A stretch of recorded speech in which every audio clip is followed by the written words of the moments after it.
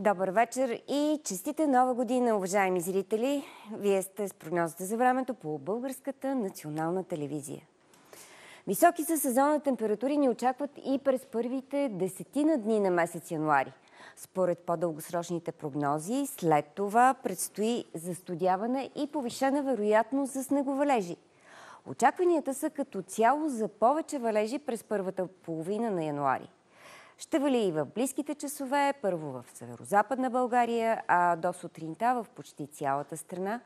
Минималните температури утре ще бъдат между 0 и 5 градуса, в София около 2, а максималните между 7 и 12 в София след малко над 9 градуса днес, утре ще бъде около 8.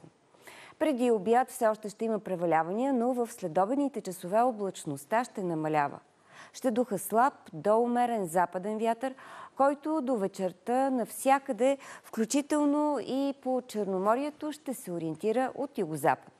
Вълнението на морето ще остане слабо. И за радост на любителите на белите спортове, в планините почти навсякъде ще вали сняг, като границата между дъжд и сняг ще бъде на около 1300 метра. Ще духа слаб до умерен, по високите части силен западен вятър, а след обяд валежите ще спират, а облачността ще намалява. Ще вали не само у нас, в много райони на Балканите под влиянието на студен атмосферен фронт, който ще премине през полуострова. Проливни валежи от дъжд и силен вятър се очакват отново на британските острови и във Франция. Причината – нов атлантически циклон, който приближава континента.